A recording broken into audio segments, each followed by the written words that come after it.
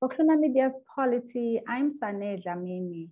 Historian Martin Plaut is in conversation with Polity about his book titled Dr. Abdullah Abdurahman, South Africa's first elected Black politician.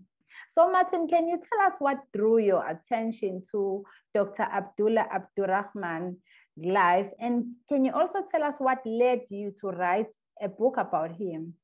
Well, I was always fascinated about how it was that uh, South Africa went from having a constitution in which, certainly in the Cape and to a lesser extent in Natal, it was possible for anybody, as long as they were a man and as long as they had money, to vote. And from 1830, for nearly 100 years, it was, it there was no racial qualification for the vote. Everybody as long as they were men, as long as they had money, could vote. And that was extended by the British, and there were thousands, tens of thousands of uh, people of color who had the vote. And then it was taken away. And I was fascinated about how this happened. How was it that the, the right to vote, which is absolutely central to everybody's human rights, their democratic rights, uh, you know, I mean, I, of course, it should have been extended to, to women as well. I'm not trying to argue whether it was right or wrong, but it was exactly the same as it was in Britain. In the Cape and in Natal, that was the situation. In the Transvaal and the Orange Free State, which were the, the old Boer republics, uh, only white men could vote. There was no, there was no qualification on, uh, on, on, on wealth, but only white men could vote, but that was not true in the Cape and Natal. And I was amazed how this happened. And then I saw that there was a delegation that went to London in 1909 to try to save that vote and to get it to the rest of the country when the Union of South Africa comes about. Of course, that was one of the great British projects the end of the Boer War. Um, and finally, it was achieved in 1910. But unfortunately, this didn't happen. Instead, only in the Cape did they maintain the right to vote. And one of the people who was on that, that uh, delegation was Dr. Abdurahman. And I then became really fascinated about how he, what he did, how he came to be a city councillor in Cape Town, what his life was. And I gradually started working on him. I must say, the, this book opens up a lot of history that we as South Africans are not aware of. Can you then, Martin, give us some background into his life from being uh, the grandson of slaves through training now in Scotland and as a doctor and then returning to the Cape with his wife?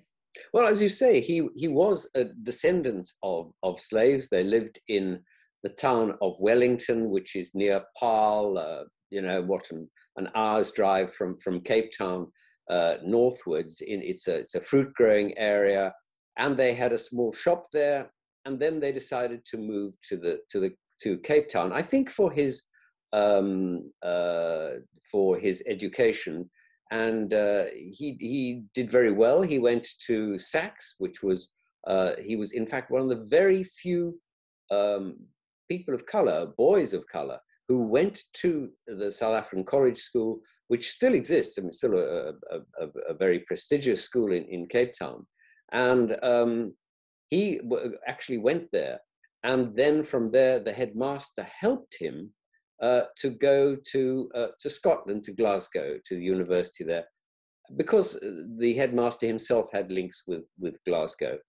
Uh, and interestingly, and it's, it's something that all people also don't really know much about, Dr. Abdurahman was by no means the first um, uh, he, he was, you know, Malay or colored, but I mean, he was by no means the first um, person of color from South Africa to, uh, to go to, to Glasgow. In fact, there was quite a strong tradition of people going from uh, the Eastern Cape. They went um, through the, the missionaries sent, sent them, and they went and they got, they got education. And it was also, it was while he was there that Dr. Abdurahman met a young Scottish woman uh, by the name of Nellie Porter. Her real name was Helen, but she was always called Nellie. And um, they fell in love, they got married, and it was quite an amazing marriage because he not only had to explain to her, listen, you know, I'm going to go back to South Africa. You know, you you might have a tough time there as a, you know, married to somebody of color, and I'm also Muslim, Would you join me in that? And she said, Yes, she would. And that was really remarkable for her to do it, to take care of both those things. She became Muslim, um, at least officially. She never really became Muslim. I mean, she was uh, she re- retained. I think she was Christian, but I don't think she was very religious. Um, and she went with him back to to Cape Town, and they arrived back there and made their home in Cape Town. He also uh, represented. Uh, some of the poorest people in, in Cape Town or on the city council and then on the provincial council as well as serving the, the 36 years uh, in the city. Can you tell us about his fights for the people of District 6? Yeah, I mean, eh, I mean, of course, everybody who who know who's been to Cape Town and knows Cape mm. Town mm. uh, knows what a the tragic story of District Six, the way that it was destroyed under the apartheid system and is still to this day. And I think this is a, a huge shame on the people of Cape Town that it is still today mostly an area of rubble. They've never managed to sort out exactly who had the right to go back to there, but it, it's so sad. But it was also um, in the in the early part of the, of the 20th century, in the period after the uh, before the the First World War, it was a period in which people of all colors and all faiths uh, mixed. It had been quite a prosperous area. It gradually became poorer and poorer. Um, but there were Jewish traders, there were um, people from Tristan da Cunha came there, there were um, people from the Caribbean came and lived, lived in that area, and, and uh, there were people who also worked on the docks who, who lived there, but there were also people like Dr. Abdurahman who set up his home uh, quite near what, what became Roeland Street Jail. Um, very uh, beautiful house, actually. Um, and he and his wife lived there, and they they set about. They they got he got a doctor's practice going, and he did very well. And um, that was the basis for them. He then began to get involved in politics. Um, he first uh, calls on um, the uh, the local uh, administrator to allow make sure that everybody was had the right to serve on a jury and that it wasn't just restricted to white people and um, he made quite an impression. They told him he was, a bit uh, pushy, uh, but which is certainly true. He was always very pushy. Um, but he uh, and then people came to he came to people's attention, and then gradually they said, "Well, would you stand for the seat?" Now they'd always been represented by whites in District Six, and he said, "Yes, I will." And there was no reason why he couldn't. And in 1904, he's actually elected ahead of everybody else. And he serves on the city council, except for a, a very small break, for 36 years. And then, as you said, he later becomes a member of the provincial council. And he's one of a very small handful of people of color who are on the provincial council. So even before the First World War, you have people of color in the Cape um, representing their communities and speaking out for their communities and that is why he you know he's he's such a sort of path-breaking person. Martin took us through his opposition to the formation of the union of south africa which sought to exclude the majority of black population from its political life. Before he uh, became on the city council the mm-hmm. african political organization or apo had been formed. It was uh, aimed at uh, colored people. Uh, i mean in, in those days people uh, basically organized by race. So you had the Indian Congress, you had the African National Congress, you had the, uh, the African People's Organization, which, as I say, was a colored organization, really. Although it didn't exclude people of other colors, it was really a colored organization. And he, um, he then joined up uh, with, with people and, and campaigned for all sorts of things. But in, in, as I said, in 1909, when it is clear that the Union of South Africa is coming about, he joins with other people. And it's the very first time that there is a genuinely non racial uh, delegation goes to Britain. It's led by W.P. Schreiner, who was a former prime minister of the Cape. He was also the brother of Olive Schreiner, the very famous novelist who wrote uh, about, about South Africa at the time. And um, it, there, were, there were two whites on it. There were a whole series of, uh, of African people, including uh, people who later went on to found the African National Congress. And then there were people like Dr. Abdurahman who were colored. The only group that was not included were Indians, because Gandhi led a separate delegation of Indians where he was looking for slightly different things. So they go to, to, to, to London and they passionately implore the, the British Parliament not to pass an act in which they don't have the vote. But unfortunately, by this time, for a variety of reasons, mostly because Britain desperately needed, they knew they were going to war with Germany in 1914, which was only, what, five years away. It was clear that it was going to be a world war.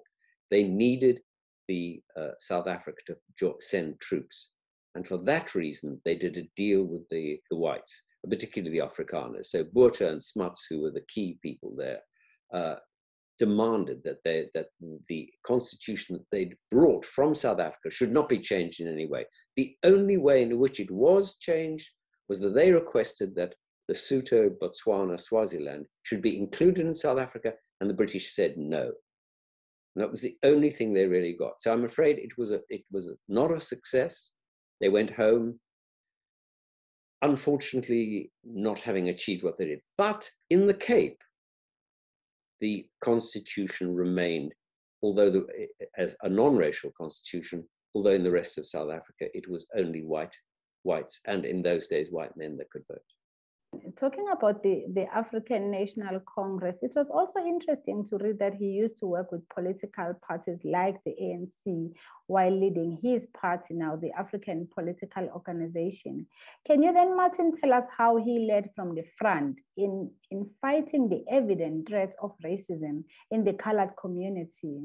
I, that was a, a, really big issue. I mean, before 1909, this, this delegation to, to Britain, he really fought mostly for the colored people.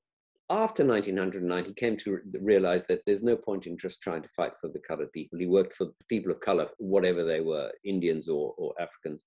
And I mean, he was, he was a personal friend of Sol Plaatje, uh, the first Secretary General of the ANC, who actually was himself a member of the APO.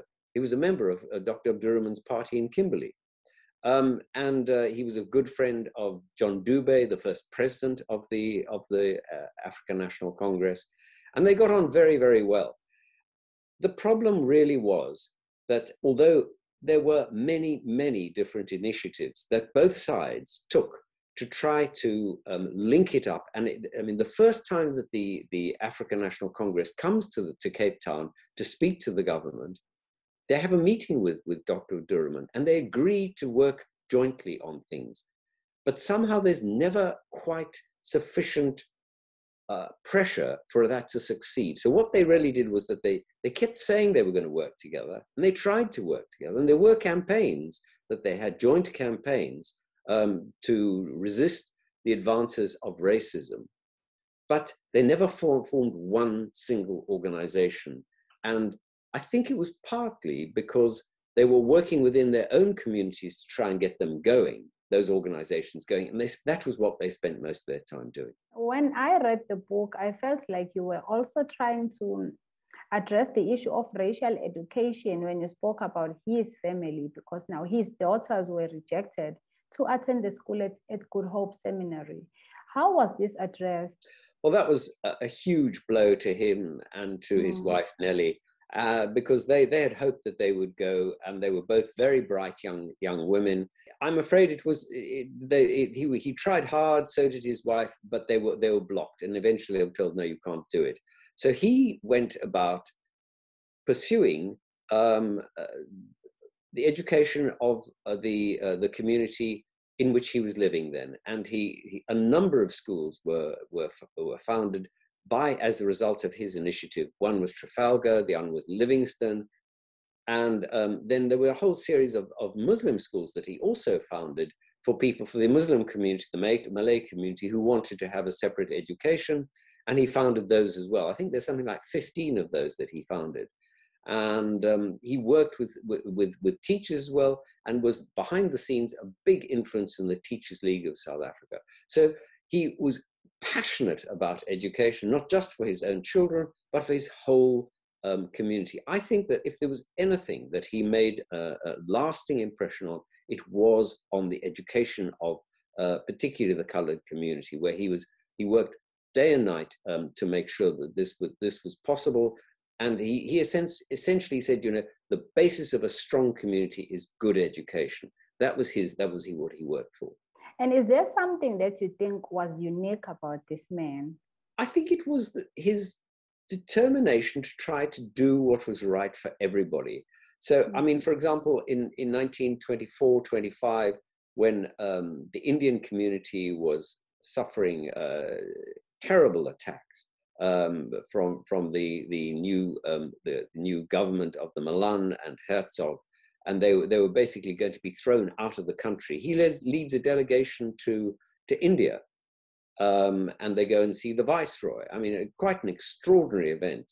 Um, and he, he links up with the, the Indian Congress in India, and he addresses their conference and he makes an amazing speech saying that you know if only you had arms you you know this small group of whites who'd been vomited up from the streets of uh, the slums of, of Europe and landed on our shores would never dare to do what they're doing now.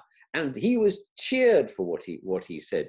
But he was also capable of speaking to the viceroy, who, after all, was the British representative in India and ruled something like 320 million people. And the, the viceroy was really impressed with how calmly and he put forward his views. See, it was that sense that he would work with anybody to try to bring forward the position of his community as he saw it. And his community, as far as he was concerned, was anybody who was oppressed. And this would be, there were poor white people he helped, there were uh, African people, there were Indians, there were colored people. He worked for anybody that, that, that he could. The great tragedy, of course, is that from about, from about the First World War onwards, the mood in South Africa, the political wind, was completely against him. It went gradually but firmly towards the right and became increasingly racist. And that was something that, whatever he did and however much he mobilized, and however much he and the, uh, the other organizations tried to resist, they were not capable of stopping it. His funeral now had a, a big procession uh, in the city of, of Cape Town. Why then do you think that his story is forgotten when he was once such a popular figure? I think that's a very good question. I think that there are a number of answers to it. Mm. Um, the first is that unfortunately, his personal uh, records have almost entirely been lost. Um, my guess is, and this is a pure guess on my part, um, was that his family needed the room for somebody else. His study was there and clearly had a very big study with a lot of files. I think they threw them away. A few have survived, but very, very few, which is terribly sad. The second reason is that I'm afraid that there is a narrative today in South Africa which says there was white racism and there was the ANC. And that's the end of the story. And there is an attempt now to sort of brush out anybody who didn't fit into that narrative, whether they're the Pan Africanist Congress or the uh, or AZAPO. When do you hear them talked about? And I'm afraid that I think somebody like Dr. Abdurahman, who was not part of the ANC, or he worked with them, but he was not a part of the ANC, doesn't fit into the government's narrative. And so they get no attention. I think it's a great pity because South African history is complex, it's detailed, uh, it needs to be told in its totality. Lots of people play different roles, um, and it's important that we understand really what everybody did and don't see people uh, in this kind of two dimensional good, bad, on, off. It's like a light switch. It, it, it, that's not history. Now, what do you think that the leaders of today will learn from this politician? I think that the thing that they would learn above all else mm. is um, his belief, and I think it's the right one, in the power of debate and of rational discussion. And that, yes, you should use demonstrations and strikes if you have to, and unionization and organization. All of those are part of the democratic process. But at the end of the day, the real power of, uh, of politics should be in discussion and debate and rational thought, and not in confrontation. Uh, yes, I understand the need to, uh, you know, to have tough debates. Uh, I've, I've, participated in some myself. Um, but, you know, I, I think that, that the, the kind of polarization which is happening in, in, in South Africa recently uh, and the, the viciousness of the debate and how crude it is sometimes, I think is something that Dr. Abdurahman would not have liked. And I'm with him on that. I think that, you know, in the end, we should engage in rational discussion and careful thought because it's, it's easy to destroy and it's hard to build up. There was Martin Plaut in conversation with Polity about his book titled Dr. Abdullah Abdurahman, South Africa's first elected Black politician.